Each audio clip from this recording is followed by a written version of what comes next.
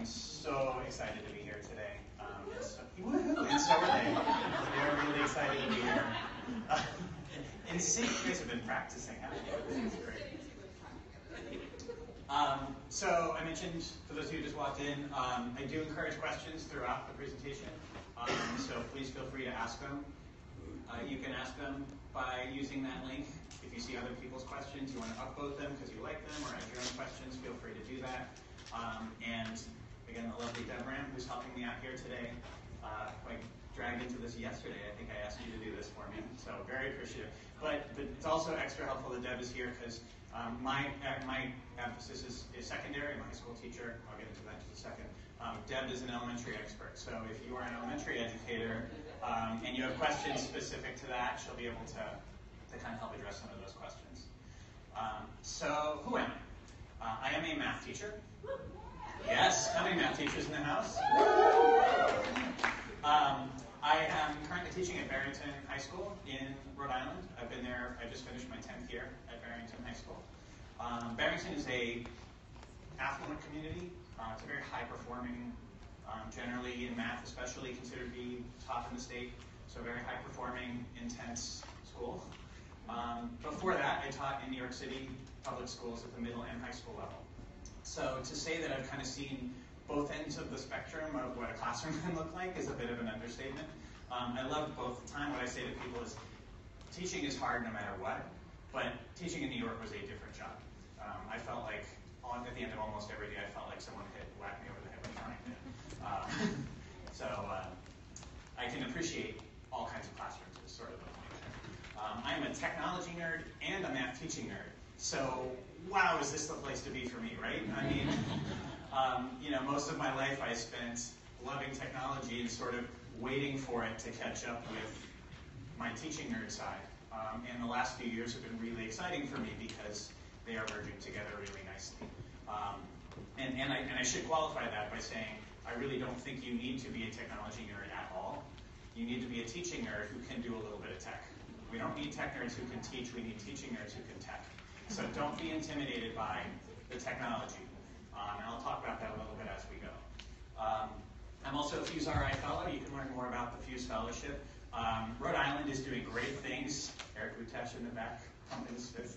Um, Fuse, uh, Fuse RI is all about um, promoting blended learning throughout the state of Rhode Island. So we partner with other districts and share ideas, and that's how I know Deb. She's a fellow fellow. Um, so that's a really cool program.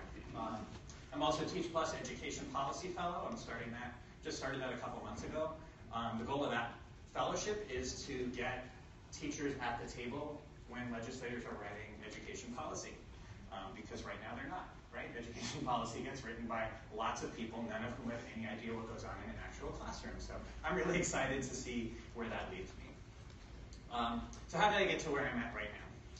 Um, about four years ago, 2013, I got an iPad and I started playing around with it.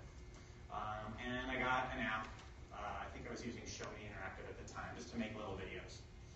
Uh, and I just kind of started playing around with them. And a couple things happened. Um, so the Bebop Burrito story. Let's telling the Bebop Burrito story. So two of my students were hanging out at Bebop Burrito, which doesn't even exist now. Um, and they were studying for a geometry test. And they were stuck on a couple questions. So they sent me an email. I happened to be at home, I happened to see the email, and they said you know, they didn't know how to do this question. So I got on my iPad, made a quick little screencast, explained how to do the problems, emailed it to them. Ten minutes later, I got another email. Thank you so much. We totally get it now. This is great. What? That was a real kind of eye-opening moment. Um, the other one, I was also teaching Algebra 2 at the time. And again, playing around with the iPad, made a couple videos just as review, threw them up somewhere and said, hey, they're there if you want them. Didn't even know if anyone was looking at him. Uh, a couple days later, Tyler comes in. He's after, after class, he comes up to me. Mr. Appel, I watched your videos last night, and it was amazing. I could pause you. I could rewind you. Uh, it was, and he was so excited about it, and he started to talk about how when he's in class, he wants to be able to try the problem first right? If I was going over a problem up in front of the, he wants to try it first. And, and he can't do that in a regular classroom, right? Because he, he has to do what is happening in the classroom. Um, so for him, just to be able to pause me, try it himself first, and then watch me explain it was so powerful. He also really struggled with taking notes. He couldn't keep up with taking notes with what I was writing and at the same time be thinking about it. So for him to be able to pause, write things down, and then think about it was life changing. So when those two things happened, I knew I was onto something. I knew I had to start making some changes. Um, so, so I kind of got at it a little bit there, but I want to just illustrate a little more um, about my, my, justification or why you should think about changing. Um, so I started with uh, BYOD. Actually, before we even went BYOD in our district, um, I just kind of went to my principal and said, can I just have some kids bring in some devices so I can try some stuff? And, and I know this is not typical, but my principal said, cool, go for it. Um, so I do understand that you may not be working in a school where you can do that, so maybe you have to just do it and not tell anyone, or whatever you have to do to make it happen. Um, but I started doing that. I started flipping my classrooms, having the kids watch the videos at home so they could do the work in class. And, and just that alone was such a culture shift. Um, because now I was spending more of my class time working with kids one-on-one and in small groups. And so my interactions with kids changed. I got to know them so much better, so much faster. Um, and, and that was really surprising to me actually at the time. Um, that, you know, we, a lot of the pushback about using technology in our classrooms is kids are sitting on their screens and they need to be interacting with people. The exact opposite happened in my classroom. Kids are interacting with each other and with me way more now than they ever could before. There's not much interaction when they're sitting and listening to me talk. There's a lot of interaction when they are talking to each other and working together. Um, so that was kind of. Um, one of the things that I found um, it, when I when I started and even now to this day with my current playlist model, um, it's it's no worse for anybody. There are kids who really like a traditional classroom. My wife actually, when we talk about this at home, she's an English teacher um, she's always saying, you know what, I don't know that I would like your model. I, I was a, she was a really good traditional student, and that's fine. But what I found is kids that were, are successful there can be just successful this way. Um, but it's so much better for some um, like a Tyler, for example. Um, now, I do have to qualify that a little bit. One of the things about this model is it puts the onus on the kids. Um, they can't just sit back and soak it in. So if you have a kid who will literally be obstinate about their learning and sit there and not do anything, and I, I have had that happen. I'm sure you've had a student or two or a hundred like that as well. Um, they're going to get nothing. They get nothing. I will say the difference is you can sit down one-on-one and try to find out why they're not doing anything and encourage them to do something and do all the different teacher moves that we do to at least give them a shot to engage in the material. Um, so I just wanted to qualify that. Um, there's a little video there that kind of can show you what blended learning looks like. It's pretty, it's kind of a cool video. I don't want to take the time right now to show it, but you can watch that um, at your own time. Um, and I'm going to kind of get into that. Um, and, and this is, I know this is obvious, but um, you know, I've seen studies that said that, that look at, oh, putting technology in classrooms doesn't improve learning. Well, duh. Right? It's not about the tools. It's about changing what we do the, the, the technology is just a tool to make it easier and more practical, right? We all know differentiation is humanly impossible, right? That's just a fact. Um, without some help, without some technology or other tools that we can use. Okay. Um, maybe I don't have to do this little demonstration at, at ISTE, but maybe I do, and I like to do it anyway. Um, so let's start with raise your hand if you have a smartphone. Okay. Um, what if you had one two years ago? Okay. Now here's my favorite one.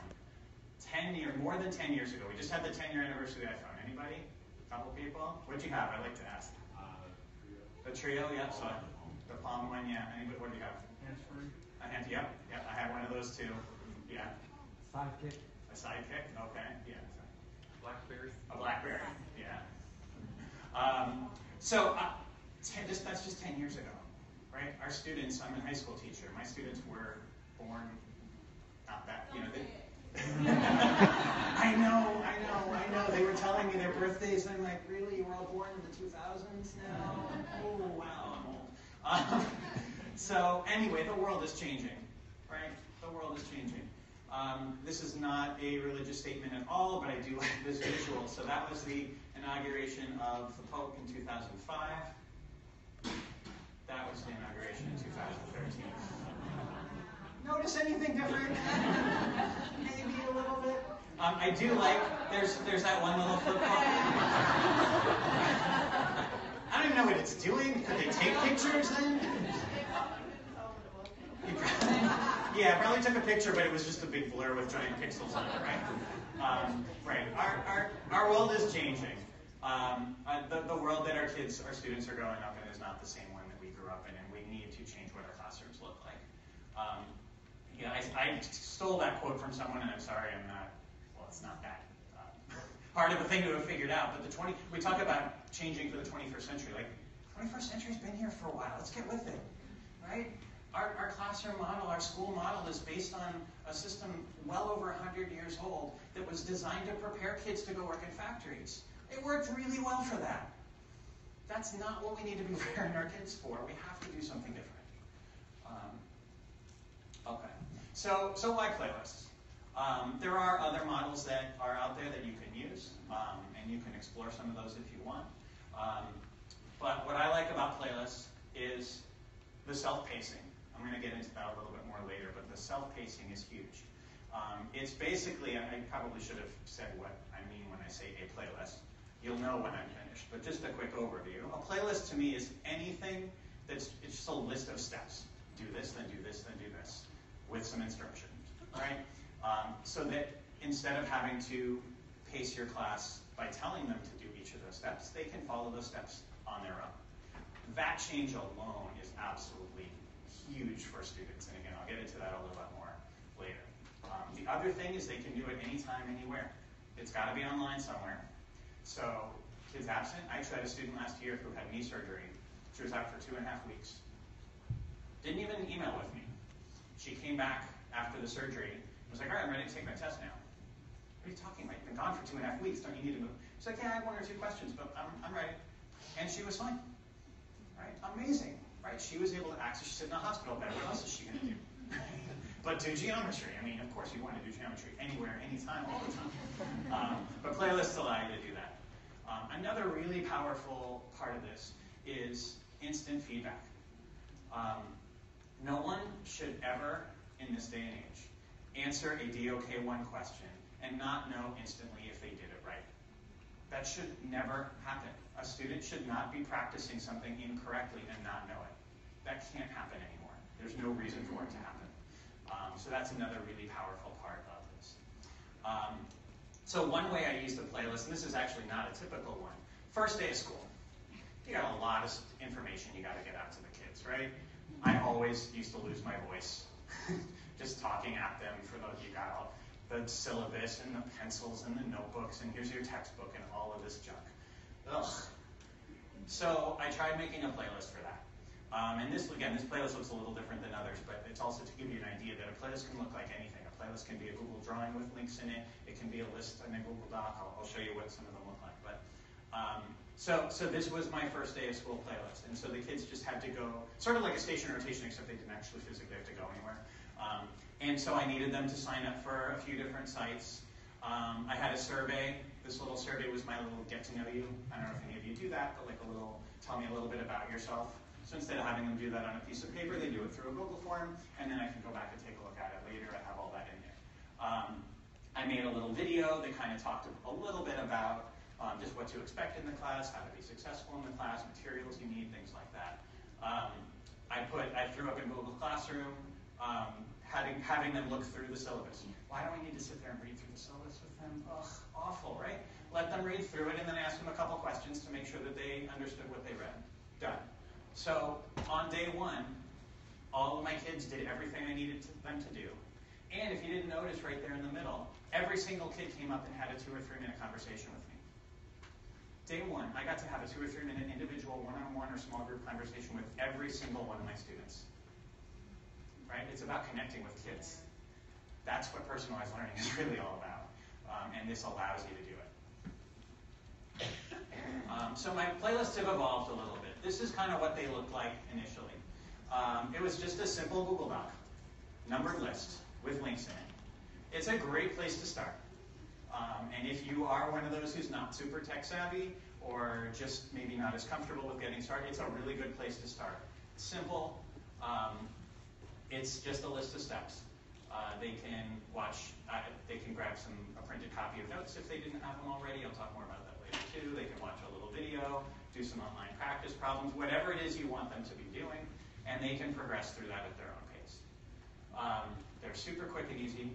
Um, when you're making these, I'm a huge, I do a whole thing about keyboard shortcuts.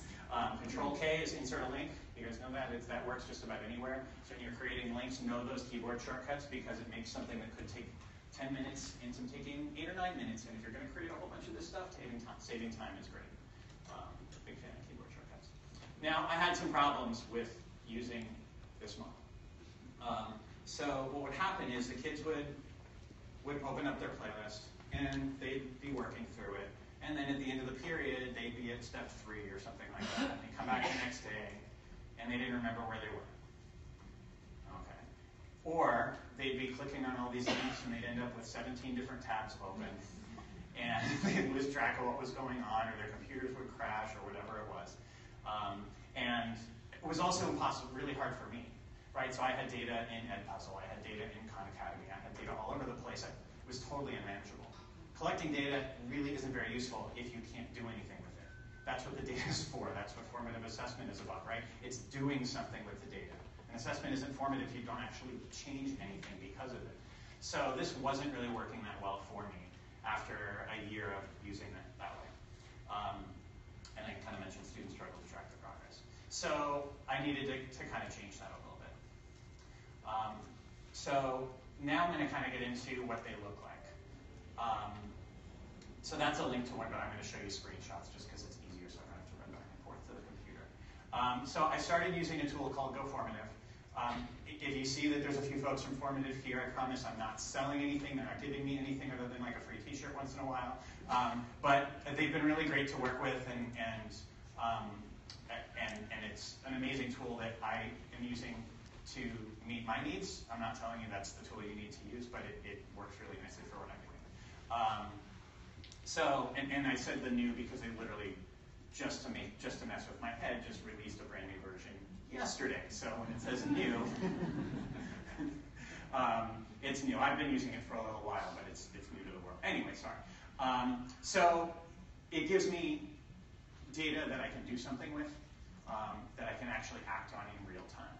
Um, it gives instant feedback for students, which, as I mentioned, really, really valuable.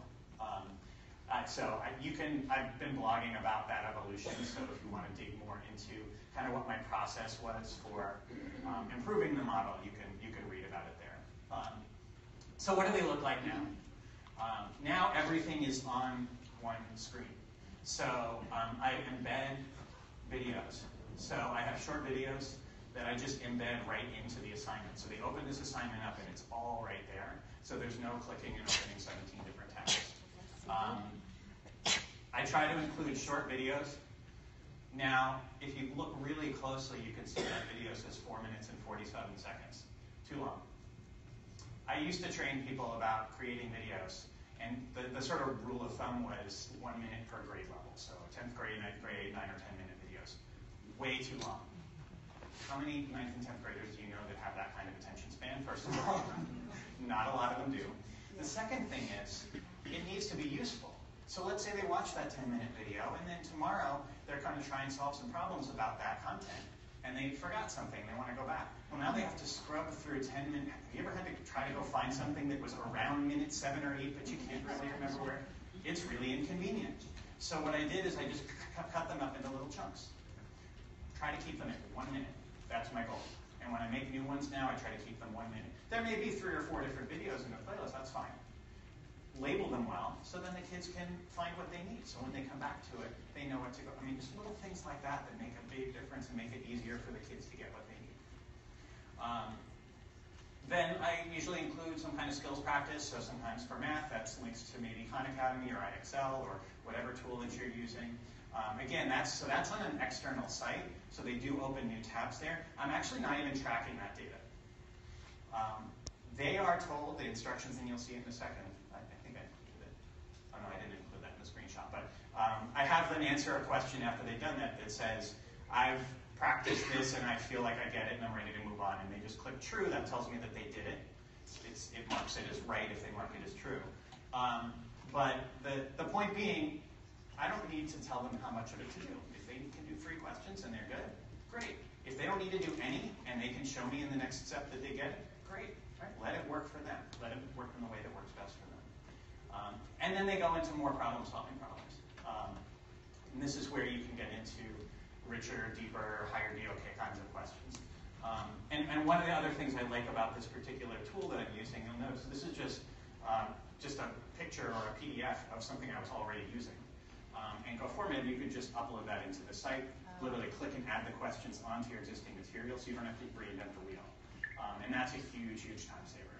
Um, that's one of the reasons I, I chose it as. So you can just take a screenshot, photograph, a PDF, a Word document, throw it right in there and add questions. Yeah, okay, we have a few questions. Uh, so um, I was going to address this a little bit later, but maybe I'll do it now. I do not assign homework. I like to pause for effect when I say that. yeah. Um, I stopped assigning homework.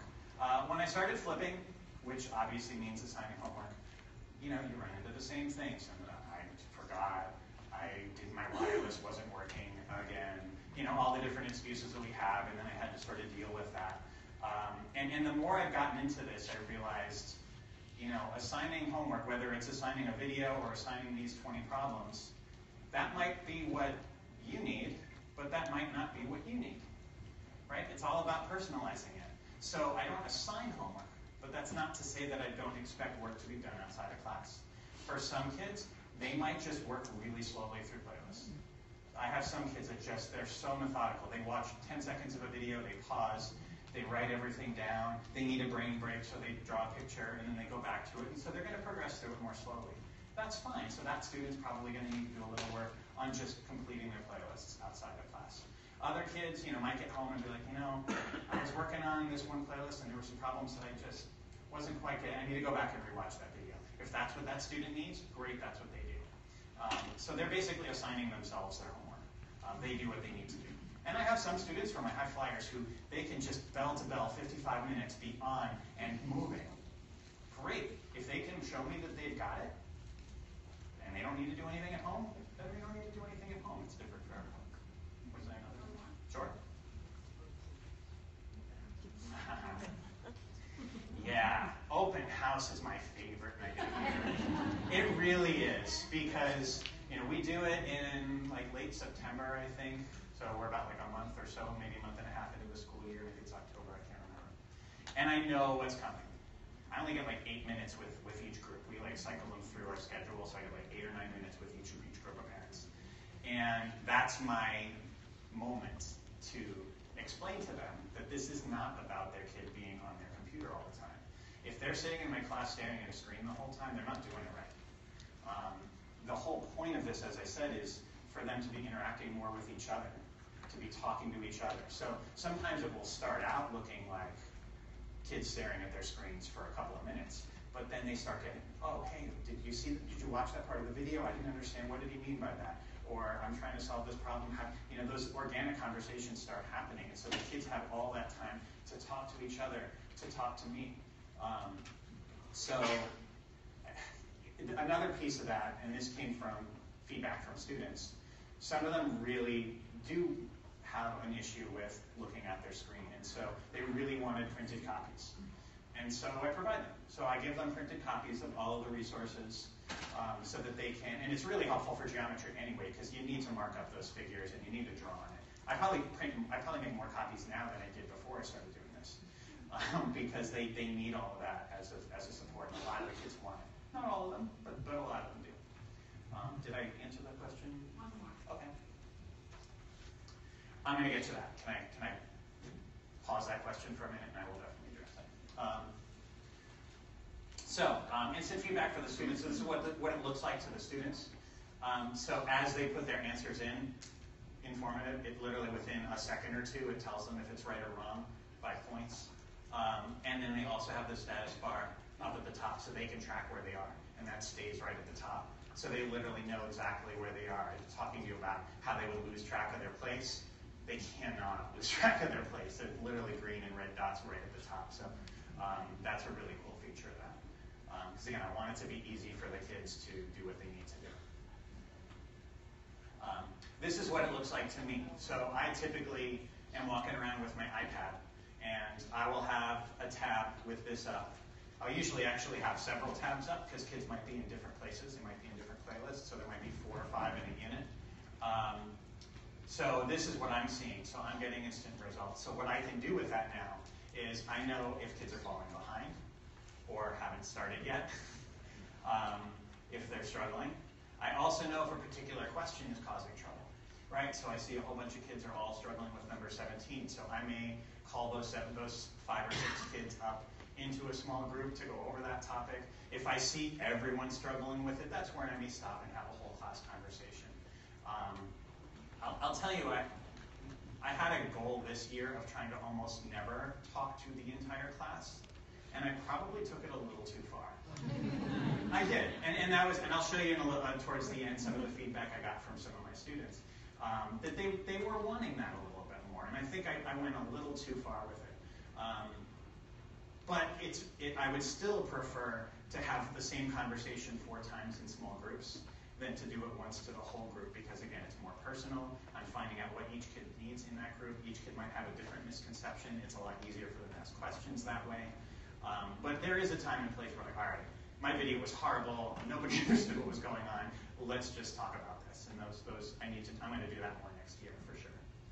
Um, uh, oh, so just quickly, so if I see a question like that, you can also just kind of click on the question and see what their answers are. This is not a good. I couldn't find an example where there were a bunch of wrong answers because they, they're required in my class to go back and correct them. So when I try to get the screenshot, I'm like, oh, wait, I'm not going to be able to get one that has wrong answers on it because they've all gone back and fixed them. But you can see, so all seven of those kids made the same mistake. That tells me something. If they all made different mistakes, that might tell me something too. Um, so you know, this is pretty much what it looks like all day, every day in my classroom. Um, I actually wore out that chair. The, the wheels almost stopped rolling where like I'd push and it wouldn't go anywhere. So I got one of my colleagues to switch with me. She was kind enough because she really didn't need to roll around. Um, but this is what I get to do. And you see I've got my, my iPad. This is my second one. Is the, the first one that I had, uh, you know, four years ago. Um, and, and that's what I'm doing. So I'm watching data and then I'm just talking to kids one-on-one. And yeah, they, are all kind of laughing because I, I couldn't do this organically. I was kind of like, all right, someone just videotape this. I need this for a slide. It's going to be fun. Uh, so, um, another thing I'm really encouraging besides self-pacing is for kids to work in their own way, right? There's no reason for, uh, in spite of how horrible our furniture is, I don't know about you, but we're still stuck with those all-in-one desks that are just hideous. Um, they can't even fit a Chromebook and a notebook on them. Um, bigger kids can't even fit themselves in them. you know, kids that have bad backs. So my rule is Starbucks seating. Sit the way it works for you.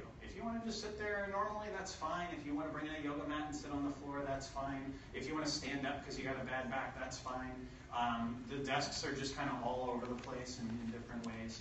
Um, you know, this kind of thing will happen organically sometimes. I have to tell you the story about that picture.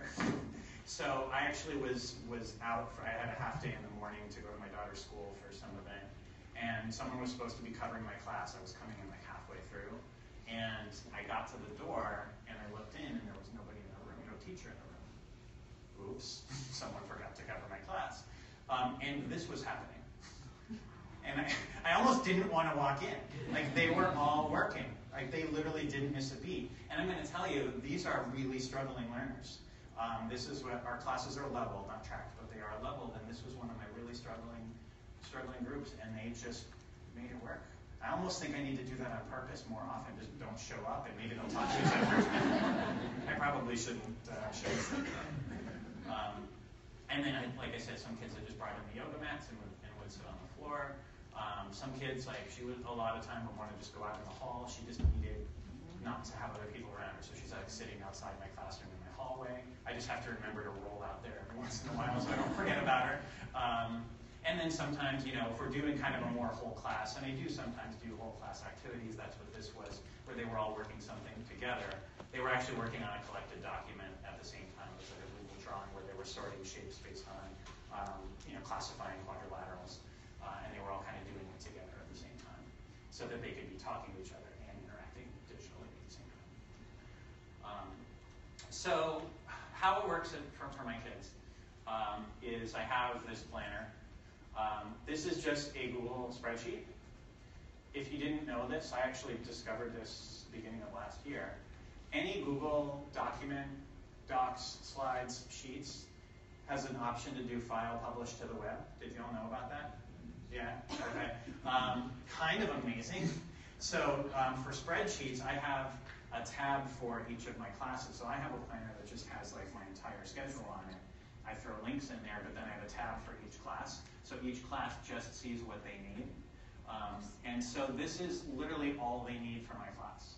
Um, so I posted in our, our gradebook system on our web page in there, which is awful, so they don't like to go on it, but they just bookmark this. And so this has everything, the entire semester. This is just a, a, a small snippet of it, because if I did the whole semester, it'd be like, you know, it'd be tiny and this long. Um, and so they come in, they open up the planner, and they jump to wherever they are. So the question that just, can you put that question back up so I make sure I get it right? Um, about the deadlines. So, can you go back to it actually, ma'am? So, thank you. Isn't she she's awesome? Um, so, here's the problem. I'm the only one in my department doing this. We have common assessments. We have a common curriculum, which is a good thing, right? We're all making sure we're doing the same stuff at about the same time. We can do it in our own way, obviously. They've been perfectly happy to let me do this the way I want to do it, but ultimately they still need to be ready to take that quiz on Tuesday or on Friday or whenever it is. I can't really change that. Um, I know there, there are models um, the summit schools are kind of doing where kids work through an entire curriculum at their own pace. So you could have kids in front of you that are all, you know, someone could finish geometry in February and then move on to algebra two. That's a whole different kind of school. My school is nowhere near even thinking about that kind of thing. Um, so what I do is I self-pace within each unit.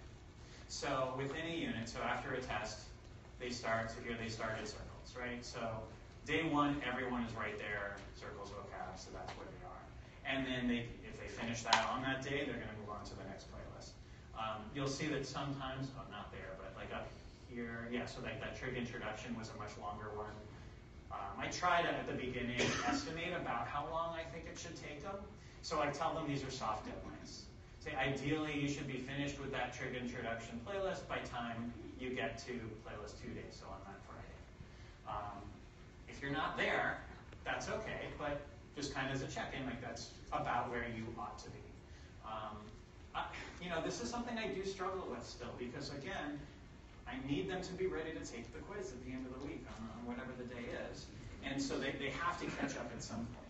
Um, so I want to give them the time to self-pace. I want to let them struggle. That struggle is really important. We know that's really good for their learning that they struggle, right? That productive struggle is, is so powerful. But I do still have that time constraint, which is what the question was about, right? So um, I just try to, to let them fall behind if that's what they need, but just try to make sure I check in kids, right? So this allows me to check in and have a conversation with almost every single kid every day. So the, I would say I talk to, sorry, was there? I just the red section where it says like the trig check-in. Yes. What are you using to check in? And can, I'll get, to, I'll answer that in one second. Um, so, so this is something I've struggled with, and I'd, I'd love to hear thoughts about how to sort of address it. So yeah, I will talk to the kids. Hey, you know, you're a little behind. What's going on? Are you stuck? Did you just have a bad day yesterday? What's going on? And and some kids just are gonna wait until the night before and finish it all, and then if they can do that and it works for them, okay. But you know, it's it, it's a hard thing to figure out, and that is something that's still evolving for me that I'm still kind of working on. Um, so, so since you asked about the, the check-ins, so um, this is also something I'm kind of playing around with. So one of the issues that came up was some kids. So, so what happens is after the soft deadline passes, I put it in the grade book as missing. So they, it's either full credit, a one for full credit, and M for missing, which it counts as a zero. I'm going to change that to NY for not yet. I think maybe psychologically that's better because that's really what it means. And I tell them like, as long as you finish it, that's cool. I don't really care when it's full credit whenever you do it. I'm not deducting anything for being late. I mean, it has to like when the quarter when the grades close. I so, so they can kind of do that um, whenever they want. Um, but so some kids, if they have zeros in the grade book, mom's taken car keys away or phones away, or they can't go out this weekend and they're in trouble. And so their solution to that, not a lot, but a few kids, their solution is, hey Johnny, can you show me the answers to that playlist so I can go type them in and get full credit? Clearly not going to help them very much. It's going to take the zero away, but it's, it's going to show up somewhere, right? Because if they don't know what they're doing, um, you know, 90% of our grades is assessment. Uh, so the 10% that's playlist completion isn't really going to help them very much. Um, so I tried adding in these little check-ins. So the check-ins um, I also built in GoFormative, but I set them up rather than giving them the instant feedback. I set it up more like a like a traditional test. So they put their answers in, they submit, and then it tells them how they did. Just as a like, just like, did you really get what you say you got from that? Um, and that way I know if they tried to cheat the system. Um, I'm still kind of figuring out what the best way to do that is, but that seemed to work fairly well, so I could at least catch you know, if kids did the playlist, they ought to be able to answer these questions. They're baseline kind of questions. And if they can't, then I know something went wrong, either for that kid or I missed something in the playlist, so that's another whole class conversation. Did that did I answer your question? So for the, opposite students who are advancing super fast. Yeah. The question, if you didn't hear, was what do you do with the with the high flyers, the kids who go really fast? Um, that's one of the beautiful things about this. When we talk about differentiation, we're usually talking about differentiating for struggling learners, for kids with disabilities, and trying to figure out how to make it work for them. But we can't forget about the high flyers, right? We don't want them to be bored. We want to challenge them. We want to keep them keep them going. So what I will typically do is just add a section at the end of a playlist, or sometimes at the end of a unit that's optional challenge. I just call it the challenge one. And I, I change the point values to one instead of 10, so when I'm looking on the results screen, I'm it, they've completed the playlist even if they haven't done those questions, so it makes it easy for me to see. Um, well, what's great about that, I've actually had it happen where I had planned this playlist, I thought it was going to take two days, and someone finished it in like 20 minutes. Oops, and I literally didn't have anything ready, so while they were working on it, I was able to go and I had like a, challenge problem sort of related to the topic, and I threw it right in there, it pops up on their screen before they even realize it, and then they have something to work on. so I try to, it's, you know, those problems that we never have enough time for, um, those really rich kind of challenge, problem solving, puzzles, whatever they are, you could use any way you want. Um, so just add those to the end as optional. So the kids who, you know, stuff that you want them to do, but it's okay if they don't do it. Yeah. Yeah, so as an elementary teacher, um, I have a lot of those on flyers as well. They finish fairly quickly, and um, because I teach all of the subjects, not just math, everything's rolled into your day. Those kids who were done early, I would typically send them out and either they had some options. They could create something that could then be used to help support some of those struggling learners. So create a video, how do you solve this problem? Um, create some kind of a presentation to share out as a preview for what we're doing next. Or I would literally give them the next topic that we're going to explore and I'd say, I need you to find two videos to help as a preview. I need you to create a pre-assessment for the students. Um, and to create some kind of questions that we can turn into some kind of challenge. So I'd always try to give them something to do that wasn't just busy work. It was something to really support the other learners in the classroom or prepare us for what was coming next. So it's just a thought. You do a, s- you talked about the formatives, the quizzes. What about a summative? How do you, how does that play into the playlist? Our, our tests are still traditional paper and pencil. So, Um, but you do have, you have one at the, at the end of that then. Yeah, so, you know, when you see tester quiz there, that's, yeah, sorry, I I know it's a little small up there. Um, that's traditional, because again, that's common in our department. Um, so, yeah. Do they have access to all the, like, all this playlist at the start? Like, or why do kids just say, I'm just gonna go to the next one, next one, next one? So I, I don't open them up beyond the unit. Um, it's like I said, I don't know what I would do if, you know, I had kids working on trig here and then someone else had already gone through that and gone through that and moved on to the next. If someone can figure that out for me and then what do we do with them when they finish the course? Because like there's no structure in place for them to move on to algebra two. You know what I mean? I don't know what I would do. It's an interesting idea, uh, but no, it's the short answer. So I just, I open it up. What I try to do is have them all posted for the unit, and then I won't make those links, I won't add those links in until after the test. Is over. What are some things that you did to prepare your students for this transition of teaching? Yeah, that's a great question because they definitely need that. Um, some kids just jump right in and it works really well for them. Some kids freak out. I'm not good at technology. I'm not good with computers. You know, one of the things we forget about, like we think, oh, they're young, they're on their phones all the time, they're tech savvy. No, they're not. They're not. Like they can tweet and they can Snapchat, great, but that doesn't prepare you for using a Chromebook. That doesn't prepare you for managing your notes electronically. That doesn't prepare.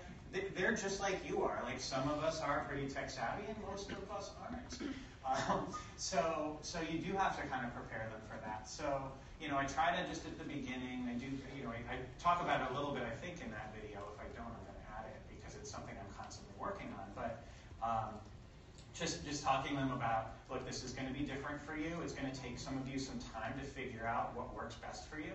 Um, ask me if you're struggling. If you feel like something isn't working for you tell me and sometimes i will just sort of all right if this isn't working for you why don't you try working this way? And maybe work independently first and then work with a partner if the way you do or whatever those different strategies are. Um, but it, it, that's also something I do kind of struggle with. I will have some students that uh, really do struggle early on. And I sometimes have those conversations with, with parents who give me the, oh, my kid can't learn like this, this isn't right, what are you doing? And then I have to explain to them. And, and I will tell you, I've never once had that conversation with a parent or with a kid and then had them continue to feel that way.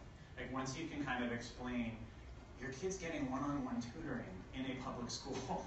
Um, you know, they're getting to work at their own pace. They're getting when they understand that, and when you you have to explain that to the kids too, right? You have to explain to them like why this is better for them, um, and that helps with that as well. Did I did I answer? Okay.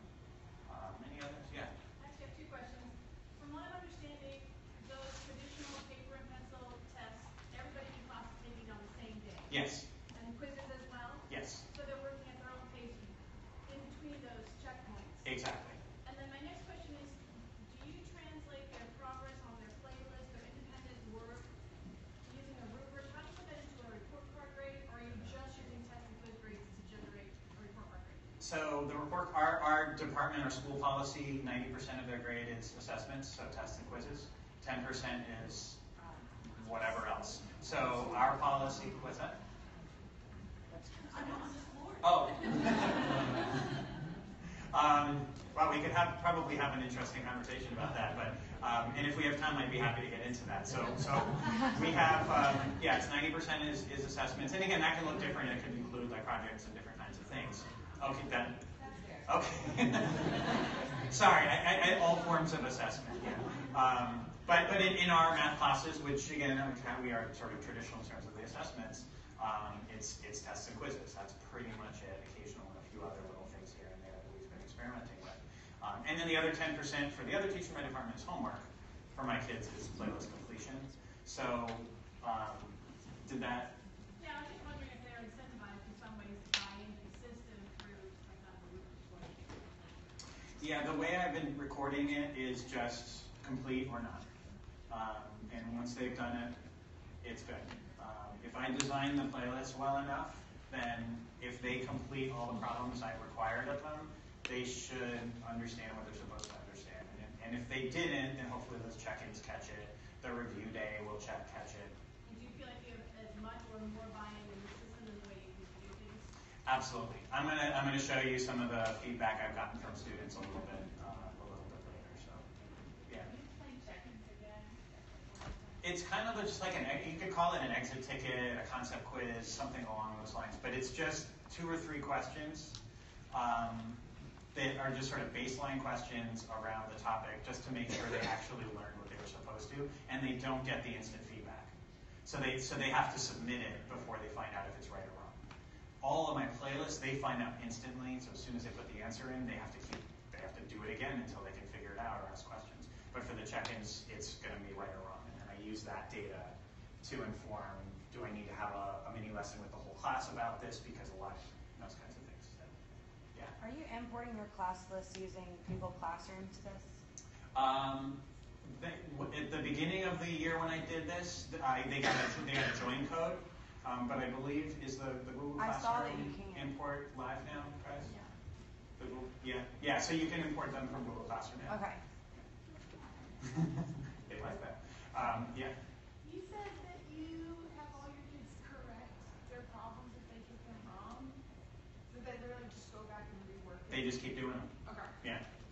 Um, and, and, and you, so you can be imagining some kids are clever and they might start trying to just try different answers, or if they're multiple choice questions, they can just keep trying each one until they get it. So I have to have those conversations with them that like, look, you're, you're not going to be able to do that on the test right? You, have to understand it. So if you miss a multiple, choice, and it's something I just have to keep reiterating and talking to them about, like it's not going to help you. And they learn that pretty quickly. Um, but it is definitely an, an ongoing conversation about, look, you, you got to make this work for you. You are in charge of your learning. If you're going to just click, click, click until you get it right so you can tell mom you're done, she's not going to be happy when the test comes back and you didn't know how to do this problem. So, Does it keep the red, does it automatically change to green on that thing? yep, once they get it right, it changes to green. And it literally happens in real time. Like a kid be sitting next to me and they change it and it changes within like a half a second or so. Yeah. Um. And then like the check-ins, so I, I talked about the check-ins that I do through formative. I will also sometimes do a Kahoot, right? Um, I actually went to a session yesterday and the, the person, the presenter said I, they didn't like Kahoot because they didn't like the music. And I, I literally yelled at him. I was like, "Look, I like the music, right? It's fun. You gotta. I've had Kahoot dance parties where kids, you know, got up. Okay, anyway. Uh, yeah, it's, it's engaging. I mean, I, what the, the limitation with, with it is the multiple choice part, right? So that's the part I don't love about it. And kids sometimes will just try to click an answer fast without thinking about it. So sometimes I find that while the engagement is high, sometimes it doesn't do what I need. So that's why, depending on what I'm doing, I'll change that up. Um, so Krativ, I recently went back to using a little bit because they, they added free response questions that auto grade. Um, so that opened the door, particularly for math or numerical answers and things like that, where it'll automatically grade the same way that formative does. Yeah. When you publish this planner to the web, like you were saying, what you do is it's still a live document, so you can add those links to it as you go.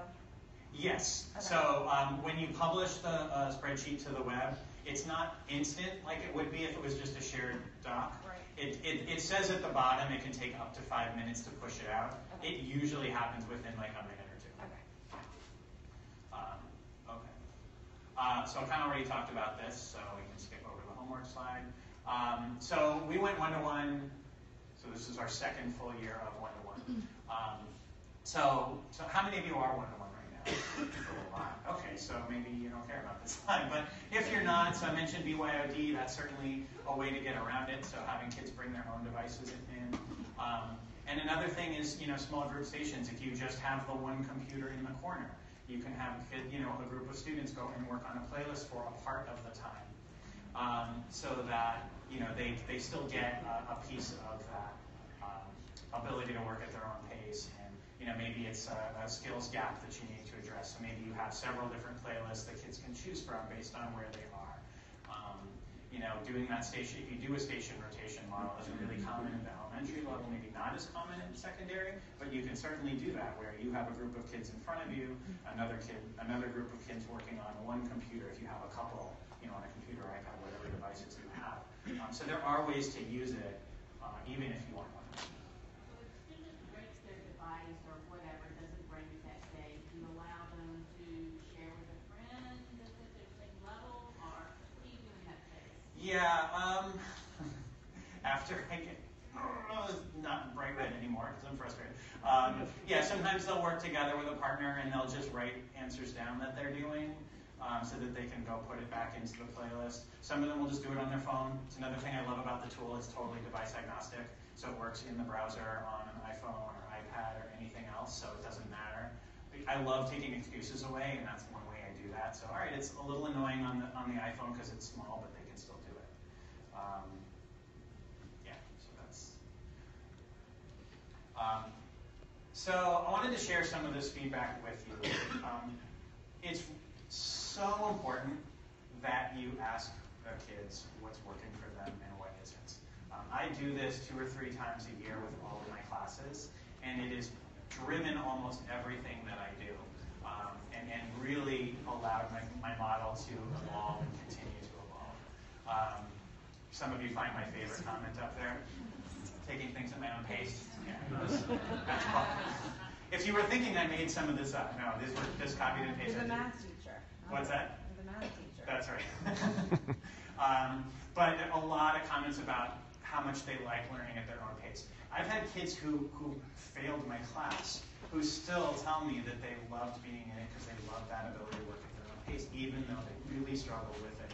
Still hate math. I mean, sometimes you can't can't get rid of that with everybody. I try to get rid of it as much as I can. Um, but they love that ability to self-pace. It's it's really like life-changing um, for a lot of kids. Um, uh, this was another comment I got: the ability to individually ask questions instead of the whole. Some kids just you're never going to hear from them if you're in front of a whole group. Some people just really don't like doing that. That was me. I would have. I hated raising my hand and asking questions in front of the class. So it's much more comfortable because it's one-on-one and in small groups. Um, the ability to kind of manage their time in the classroom, like they love that freedom to be treated like a human being. You know, think about what kids do throughout the course of the day, like at a high school level. You know, sitting in classes for six and a half hours or however long they're there. It's it's really hard. Um, it's really hard even if you don't have raging hormones and all the other things that high school and, and middle school kids. I'm thinking about. I, I did teach middle school. I taught eighth grade for eight years, so I know. Mean, they're all crazy. Mean, they're not the best kids in eighth grade are nuts. And so, like, the idea of having them sit in one place for the entire day and listen. Oh my God, no wonder they act crazy. Um, you know, and one of the things I will say is my classroom management issues are almost gone. Because what causes kids to act out? They're bored or they're frustrated because they can't understand the work. And neither of those things really ever happen. They're not bored because they always have something to do. And it's at the, it's, it's meeting them where they are. Um, and so most of those classroom management issues have just disappeared is not, to say that they don't exist. They certainly do. Um, so um, also ask them what they didn't like about this. This is probably my favorite. I mean, I love getting the positive feedback, makes you feel good, makes you feel like things are going well. Um, but I also like this. So one of the big pieces of feedback I got early on was they wanted stuff on paper. And so initially I didn't make printed copies at all.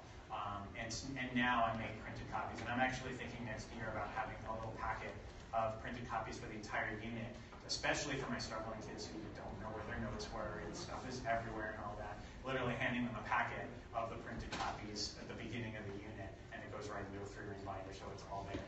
Um, and if they don't want to use it, they can opt out of it. Uh, if they can tell me they got another method that works for them. Uh, but I'm considering doing that because I still get so much feedback that they, they need that paper to write on. Um, yeah. Hands-on projects. Um, I, I hear you talk about you teach geometry, and there's so many big things that you can do in your own And I have to say, boom.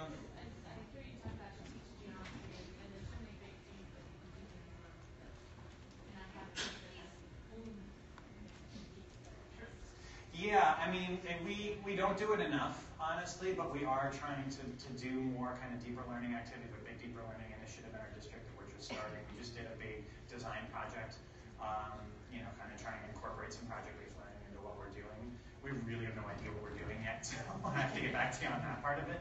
Um, but I, I do try to design this, so sometimes that will be either right at the beginning of a unit. Probably the best place to do it is the beginning of a unit to kind of create that inquiry and excitement about what they're about to learn um, which is really what project-based learning is supposed to do. Is the project is supposed to drive the learning, not the other way around. Um, but honestly, we're not we're not there yet, so I don't have a really great answer. Yeah. Yeah, that was kind of tied into this question, I teach science, how would you handle the lab report versus you can't really keep your set up for two weeks, you know? Yeah, I mean, I, I, don't know, not being a science. Dan can answer that. So there's a lot of really great interactives. Um, that is, a, is an awesome one to put up there. So any of the interactives that doing in class, my, te- my cheerleader wants to. Um, so using technology, you can apply some of the great labs that you're doing in the classroom, and there's some of those interactives right online. So that's a really great resource that I use K through 12. PHET, P-H-E-T. So that's a really great one they can use um, asynchronously whenever they're ready. I think we have about four minutes left. So. Yeah, and I, I would say another thing is, you know, if there's, in, I know there's like in pre- preparing kids to do a lab, information they need to have, so that could be done prior, uh, maybe through flipping, where there might be a video kind of explaining, or however you want to use a playlist. Like, these are the things you need to know, so that you know when you're coming into it, that they're ready for it. I don't know if that, You can look at it last, like, you know, done by this date, this two days left, right. you know, like a quiz. Yeah, yeah, exactly. You can kind of build that in for sure. Um, oh, and, and I love this comment in a real classroom. really? That one hurt a little. I'm not gonna lie. That one stung. You're not in a real classroom. Okay. Um, but but the feedback about wanting it explained in person is something. Initially, um, it was just the video, and now if you look at my playlist, they all say I've watched the video or completed a mini lesson. And so I tell them if you want a mini lesson, just ask. And so I will provide those. So sometimes after they watch the video, they're like, eh, that video didn't work for me. Can you just come? And I'll just, hey, I'm doing a mini lesson on this right now. Come up to the come up to the smart board and we'll do that. And so five or six kids might come up and do that. Um, so that was really um, kind of powerful feedback. Um, and you know, you see they're complaining about the chairs. Yeah, me too.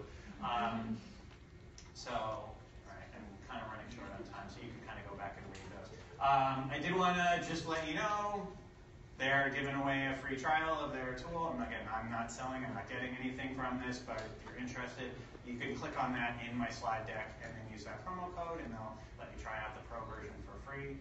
Um. For like three and a half months, I think is the, so you can really play around with it. How much is it Um. Edpuzzle also, like, they just like contacted me because I was going to mention Edpuzzle, so they're going to give you something free. I don't even know what, but it's in the slide. So there you go. And oh, and then uh, if you would, at uh, when you're done, apparently there's like two different kinds of feedback. Um, there's like presenter feedback and session feedback. I don't know why they'd be different, but maybe if there's a lot of sessions, a lot of presenters, then they would, they would have different. Whew. I think I got everything.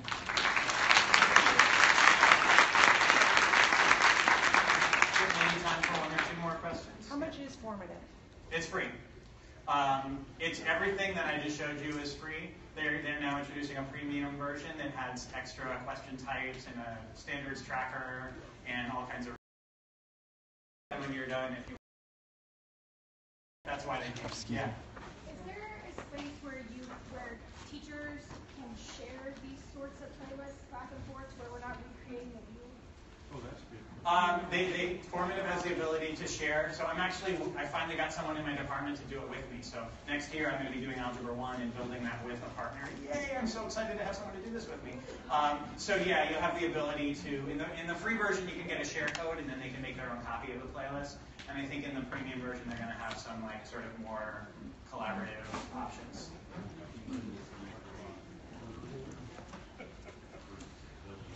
Um, oh, like different for each group. So I don't create a different, well, for different levels.